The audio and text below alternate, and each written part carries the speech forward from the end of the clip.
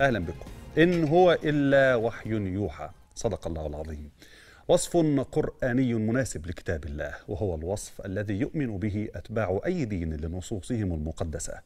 لكنه لن يكون مناسبا أو مقبولا بأي حال من الأحوال على عمل بشري حتى ولو كان مؤسسة صحفية عريقة ومشهود لها بالمهنية والحرفية على مدار تاريخها الممتد. الهيئة الوطنية للإعلام أصدرت قرارا بتعليق أي تعاون إعلامي مع هيئة الإذاعة البريطانية بي بي سي حتى إشعار آخر بسبب التقرير الذي أذاعته وأتاحته المؤسسة الإنجليزية لجمهور المملكة المتحدة حصرا وأتاحت فقط نصفه عبر موقع يوتيوب. وتضمن مغالطات حول الشأن المصري خصوصا ما يتعلق بالفتاة زبيدة التي ادعت والدتها في الفيلم أن الأمن المصري أخفاها قسريا فيما ظهرت زبيدة بنفسها بعد ذلك وقالت إنها تعيش حرة وإنها متزوجة ووضعت مولودها قبل أسابيع. كيف يمكن للمواطن أن يواجه الأكاذيب بنفسه؟ كيف يمكن أن نواجه الشائعات التي نتوقع انتشارها بكثافة في الفترة المقبلة؟ وما دور الدولة في ذلك؟ نحاول الإجابة على هذه الأسئلة ولكن بعد هذا العرض. نتابع.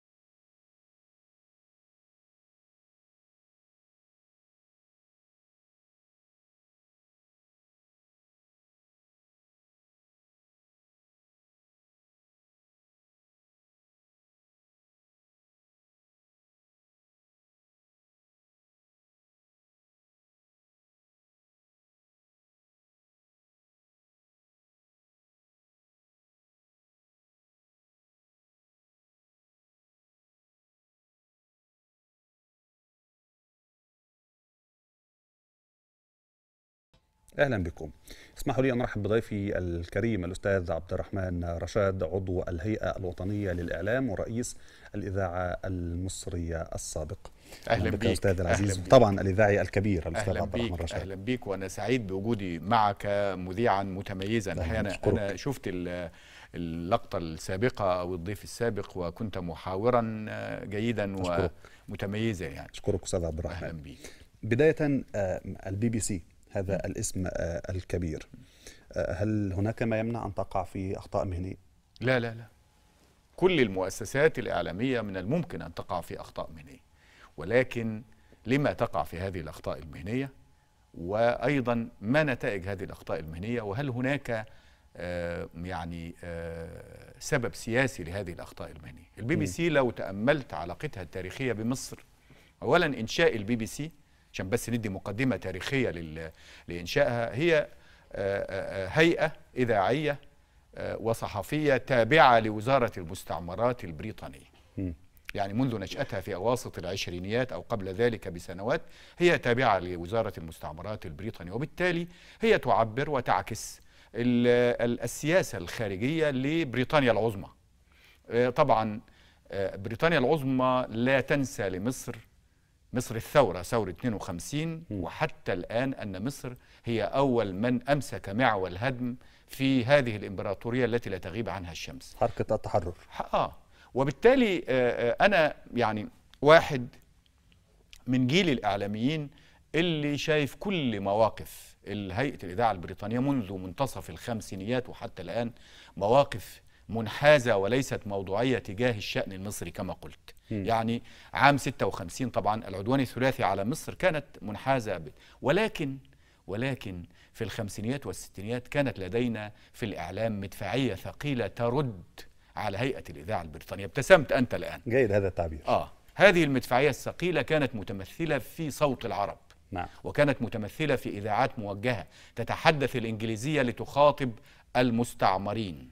الذين تستعمرهم بريطانيا في أفريقيا وفي آسيا الإذاعات الموجهة صوت العرب طبعا كان يتحدث العربية وينقل ينقل السياسة الخارجية المصرية تجاه العالم العربي. نعم. وبالتالي كان بيرد على كل ما تنشره هيئة الإذاعة البريطانية. الحقيقة آه، آه، هي كما قلت أنت هي هيئة تتمتع بمهنية. ما فيش شك لها تاريخ في الإعلام ولها تاريخ في المهنية ولها تاريخ في الأداء وهيئة آه، تضم أكثر من 30 لغة تتحدث بها إلى مختلف دول العالم وبالتالي لها مهنية. وتختار كوادرها بشكل علمي وتدربهم بشكل علمي. آه، آه، لكن الوقوع في الخطأ أنا أعتقد أنه خطأ مقصود. أنا أعتقد أنه ليس خطأ مهنيا مصادفة كده. خطأ مقصود. لما؟ لأنه منذ ثورة الثلاثين من يونيو ومنذ رحيل الجماعة الإرهابية التي يستقر كثير من كوادرها في لندن العاصمة البريطانية وهيئة الإذاعة البريطانية تنحو منحا ضد النظام في مصر الذي آه، آه، خرج من عباءة ثورة 30 يونيو سواء في استخدام المصطلحات سواء في نشر أخبار المعارضين الإرهابيين الموجودين في لندن سواء في تناول الشأن المصري الداخلي. هقول لك على سبيل المثال. نحن مثلا في الإعلام المصري لا نستخدم كلمة آه، الدولة الإسلامية على تنظيم داعش. نعم. لعلك تلاحظ عندما تستمع البي بي سي هم يستخدمون هذا المصطلح. مم. هم في بداية ثورة 30 يونيو أطلقوا على نجاح الثورة نجاح الانقلاب. م? وبالتالي أنا أعتقد أن معالجات هيئة الإذاعة البريطانية للشأن المصري داخليا وخارجيا كان ينحو منحا غير حيادي وغير موضوعي إذا عرقت على مجموعة من آه، آه، المواقف التاريخية للبي نعم. نعم. إبان بناء السد العالي إبان العدوان الثلاثي إبان قرارات الرئيس عبد الناصر إبان الوحدة بين مصر وسوريا. كانت كل مواقف هيئة الإذاعة البريطانية مواقف سلبية من مصر. ويبدو أنه ال ال ال ال الضمير البريطاني أو الفكر الإنجليزي ما زال متشبثا بفكر الدولة المستعمرة. الدولة المستعمرة التي تحاول أيضا في آه، آه، الزراعة الإعلامية الخاصة بها أن آه، يعني أن يعني لا تحاول أن تتخلى عن الانحياز للسياسة. وأنت طبعا عارف أنه الإعلام جزء من السياسة الخارجية. نعم. الإعلام كما المخابرات كما الدبلوماسية الإعلام مهم. لكن الحقيقة أنت أشرت إلى قرار الهيئة الوطنية للإعلام بتعليق التعاون.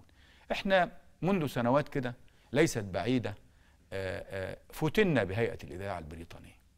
وبالتالي جاء مسؤولون لعقد عدد من الاتفاقات اتفاقات التدريب واتفاقات تبادل ال- الخبرات و و وبالتالي كان لابد والحقيقة القرار جاء في وقته وجاء في أوانه الحتمي كان لابد من تعليق التعاون مع هيئة الإذاعة البريطانية آه، أستاذ عبد الرحمن كيف ردت عليكم بي بي سي؟ البي بي سي على فكرة النهاردة في الأهرام مثلا. البي بي سي على موقعها قالت إنه سوف نناقش مع السلطات المصرية ما حدث بشأن تقرير ال- الاختفاء القسري ولكن في نهاية الخبر أيضا أبت إلا أن تمارس نفس السلوك وقالت إيه. مم. ولكننا نثق في مصداقية مراسلينا. هل هو تمسك بالخطأ أم دفاع عن منتسبيها؟ الاثنين. الاثنين. تمسك بما لا يظنون أنه ليس خطأ ولكن يدافعون أيضا أو عن تمسك بما. يظنونه آه، صواب صواب نعم. آه بالطبع وبالتالي آه، آه، الحقيقة ال ال أنا كنت أود ألا يكون الموقف الموقف المصري ليس موقف ال- الدولة فقط وإنما موقف الإعلام المصري الإعلام المصري الحقيقة آه، ليس اجراء بوقف التدريب أو بوقف تنفيذ الاتفاقات وإنما أن يرد الإعلام المصري مم. الإعلام المصري للأسف الشديد يحدث نفسه. إعلام محلي. أين الإعلام الدولي المصري؟ أنا أملك قناة كقناة النيل نايل تي في نعم. تتحدث الإنجليزية والفرنسية.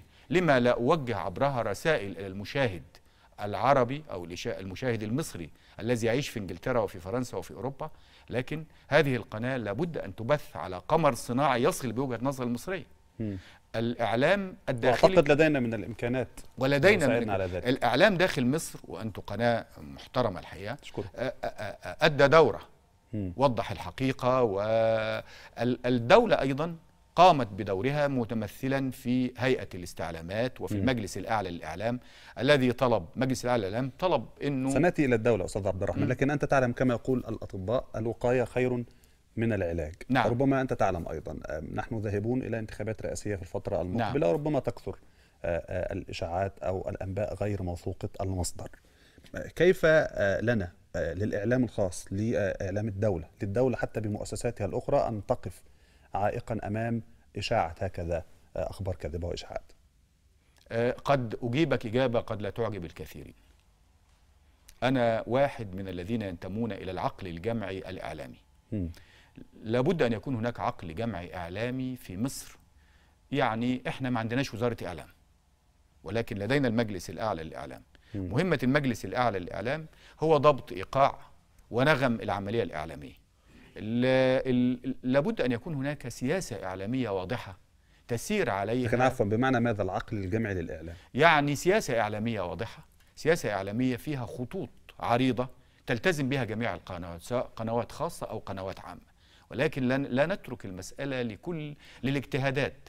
قد يجتهد فلان فيصيب وقد يجتهد فلان فيخطئ. لكن تتحدث في سياسة آه، ما يختلف عن ميثاق الشرف الإعلامي. لا ميثاق شرف الإعلام فيما يتعلق بالأداء. سياسية واستراتيجية. آه طبعا. لابد لابد. نحن دولة أنت تتفق معي دولة ونظام يواجه تحديات إعلامية. كما يواجه تحديات سياسية واقتصادية. وبالتالي هذا التحدي الإعلامي لابد أن يواجه بلغة إعلامية وبسياسة إعلامية موحدة يتفق عليها الجميع. سواء هذه السياسة آه، وعلى فكرة هذا ليس جديدا. لكن ربما يقول البعض الآن وجهة النظر الأخرى أستاذ عبد الرحمن أنت تريد أن تجعل آه، كل القنوات تسير في خط واحد وهذا ربما يدفع بعض آه، مواطني هذه الدولة للذهاب لقنوات أخرى لمتابعة وجهات نظر أخرى. عندما عندما تكون هناك سياسة واضحة تعبر عن مصالح مصر وعن ال... وتدافع عن الأمن القومي المصري وتعبر وتسير ب... بموازاة السياسة الخارجية المصرية هل هناك من يعارضها في الشعب المصري؟ سؤال مم. يعني أنت تعبر عن واقع واقع فيه صدق واقع فيه صدق واقع فيه إنجازات واقع فيه تأييد شعبي واقع فيه سياسة واضحة وبالتالي يعني أنا لا أعتقد. ولكن الاختلاف فين يا أستاذ محمد؟ الاختلاف في كيفية تقديم البرامج. هل قناة TeN تشبه قناة أخرى في ال ال ال ال مناقشة مثلا مسألة ال- ما حدث من البي بي سي؟ الاختلاف في التوجه البرامجي. ولكن هناك رؤية سياسية تعبر عن مصالح مصر وتعبر عن وتدافع عن الأمن القومي المصري ويلتزم بها الجميع. إلى أي مدى آه، آه، أستاذ رشاد ترى أن هذا قائم بالفعل في مصر؟ آه، يعني إلى حد ما إلى حد ما نحن ملتزمون به في داخل مصر ولكن لا يصل إلى الخارج. ومن هنا تأتي الشائعات التي تصل إلينا من الخارج. لابد من وجود لابد من وجود صوت إعلامي لمصر يصل إلى الخارج. حتى لا يعني نتهم بأننا نحادث أنفسنا. لابد لابد من إعلام يشبه إعلام الخمسينيات والستينات شوف أنت لما لما أكيد أنت سمعت لما قال الرئيس عبد الفتاح السيسي إن الرئيس عبد الناصر كان له إعلام نعم. يدعمه يساعده. نعم. يدعمه. تمام؟ لابد من إعلام يدعم يدعم توجهاتنا السياسية وخاصة إن هذه التوجهات تحظى بدعم شعبي. هل شائعة الاختفاء القسري دي حظيت بتأييد شعبي أو حظيت بتصديق شعبي؟ وإنما الناس في المجمل استنكروها. وبالتالي حتى كان ردة فعل القنوات كلها كانت ردة فعل آه، مشتركة ومتوحدة. وبالتالي أنت عندما تتفق على إعلام يوجه إلى الخارج. آه، سواء كان إعلاما خاصا أو كان إعلام الدولة. لدينا مؤسسات في آه، الدولة مركز المعلومات في مجلس الوزراء والهيئة هيئة الاستعلامات. كيف يمكن أن يتوسع مركز المعلومات حتى في تناوله مع وسائل الإعلام حتى م- كي تصل مهمة إلى- مهمة مركز الشعب. المعلومات إمدادك بالمعلومة. نعم. إمدادك بال- بالمعلومة والمعلومة تكون هي الأساس اللي بيكون عنها آه، آه، يكون عليها البرنامج أو يكون عليها الخبر. دي مهمة الإمداد بالمعلومة. إمداد وسائل الإعلام أم إمداد المواطنين؟ إمداد وسائل الإعلام اللي تعكس بعد كده المواطنين. يعني مركز المعلومات يمد وسائل الإعلام وسائل اعلام متميزة. لكن دعني أتكلم معاك عن مسألة هيئه الهيئة العامة للاستعلامات. نعم. أنا أنا الحقيقة وأحتاج إلى دور جديد للهيئة العامة للاستعلامات. دور يتمثل في اولا فعاليات فعاليات أكثر مكاتب تنتشر أكثر المبادئه يجب أن يكون هناك مبادئه في يعني لو لو مثلا مسألة الاختفاء القسري عندما بدأت هذه يعني هذا الكلام عن الاختفاء القسري لو بادرت الهيئة العامة للاستعلامات بتوضيح المواقف باللغات الإنجليزية والفرنسية وعبر مواقع التواصل الاجتماعي وأعتقد للهيئة موقع تواصل ووضحت الصورة للرأي العام العالمي أعتقد أن البي بي سي كانت فكرت مرتين قبل أن تصدر هذا التقرير. فهنا الهيئة العامة للاستعلامات دورها خطير للغاية ويجب أن تبدأ مرحلة جديدة في العمل. آه، المبادأة التوضيح الاستفادة من المعلومة القادمة لها من ال- الدولة من مركز المعلومات سواء. في رئاسة الوزراء أو آه، آه، رئاسة الجمهورية آه، الحقيقة آه، دور الهيئة العامة للاستعلامات دور آه، أنا بعتب عليه أنا بعتب عليه وي- ويحتاج إلى تطوير ويحتاج إلى عمل أكثر من هذا وليس مجرد التهديد بإغلاق مكتب لإذاعة أو. لصحيفة الرأي يواجه برأي لا نعم. ويجب أن يكون هناك مبادئة يجب أن يكون هناك مبادئة بمجرد وصول المعلومة يجب أن آه، تقوم الهيئة العامة للاستعلامات بدورها. الإعلام الرسمي أيضا إعلام الدولة. لكن ربما في في هذه القضية بالتحديد قضية زبيدة الكل كان رد فعل. كان آه، الكل كان رد فعل. نعم. الكل كان رد فعل والحقيقة آه، رد فعل هيئة الاستعلامات و- ولطبيعة ال- الموقف هناك فيلم وثائقي أو تقرير ظهر على إذاعة فكان رد الفعل أن آه، حاولت بعض وسائل الإعلام إيضاح الصورة بشكل آخر. بس وضحتها لمين؟ ما هو ده مهم. مم. يعني يعني حتى هو ظهر باللغة العربية. إنما أكيد مثلا أكيد ظاهر هناك باللغة ال- الأخرى. لكن هناك وجهة نظر أستاذ رشاد. البعض يقول مصر الآن لها آه، علاقات قوية مع كثير أو كل دول العالم. وحتى هناك صفقات تجارية وتبادل منافع وما إلى ذلك بكل دول أوروبا والاتحاد آه، آه، الولايات المتحدة الأمريكية وأمريكا وما إلى ذلك. هل يفيد هكذا تقرير تبثه بي بي سي في تغيير آه، آه، النمط الفكري للمواطن البريطاني عن مصر؟ هل يضر مصر في شيء؟ في النهاية نحن نتعامل كدول. مم. مصر تعامل بريطانيا تعامل فرنسا تعامل ألمانيا وتتمتع بعلاقات جيدة مع كل هذه الدول. أليست هيئة الإذاعة البريطانية تابعة للدولة البريطانية؟ تابعة. يعني هي برضو آه، آه، تعبر عن سياسات آه، هذه الدولة. هي. من الممكن أن أن أن تزعم بأنها مؤسسة حرة ومؤسسة آه، يعني لا لا سلطان لأحد عليها إلا مواثيق الشرف الاعلاميه والعرف الإعلامي. نعم. ولكن أنت أنت أحيانا تأتي بتقارير تأتي إليك تقارير من منظمات حقوق الإنسان مم. وتهاجم الدولة المصرية. وبالتالي أعتقد إنه لا فصل بين الوسيلة الإعلامية والقرار السياسي. لا فصل يعني مهما حدث انه هناك تقارب اقتصادي هناك علاقات اقتصادية لكن لابد من إعلام قوي وقادر لشرح وجهة النظر نعم. على الأقل آه، للأسف انتهى وقتي معك سريعا أنا أنا ال- أنا سعيد بيك. و... وأرجو إن إحنا نكون وضحنا وجهة النظر دون آه، خلل ودون ظلم لأحد قلت ووفيت. شكراً. شكرا جزيلا الإذاعي الكبير الأستاذ عبد الرحمن رشاد عضو الهيئة الوطنية للإعلام ورئيس الإذاعة المصرية السابق شرفتني في هذا الجزء من هذه الحلقة. شكرا, جزيلا لك. شكرا.